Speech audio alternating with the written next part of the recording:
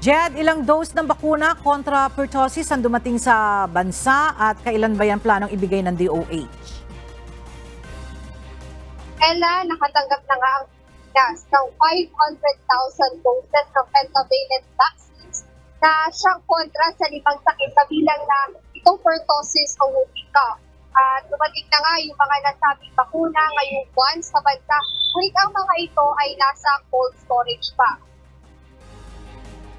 Ayon sa Department of Health, inaasikaso pa ang mga paperworks na mga ito bago simulang maipamahagi sa mga government health centers sa iba't ibang lugar sa bansa. Samantala sa isang pahayag, nasa 750,000 doses pa ng pentavalent vaccines ang inaasahang darating naman sa susunod na linggo.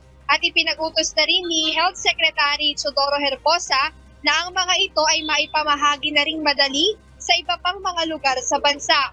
Kaya ela tiwala ang ating kagawaran ng kalusugan na tuluyan pang bababa ang mga kaso ng pertussis dahil sa pinalakas na bakunahan dito sa ating bansa.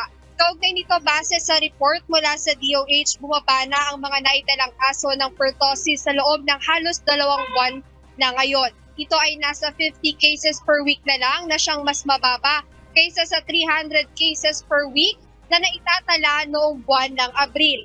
Habang mula noong August 4 hanggang August 17 naman, nasa 19 ang naidagdag na dinapuan ng naturang sakit. Sa kabuuan, Ella, 3,827 na kaso ng pertussis na ang naitatala ngayong taong 2024 at karamihan ang mga ito ay naitala noong buwan ng Marso at Abril.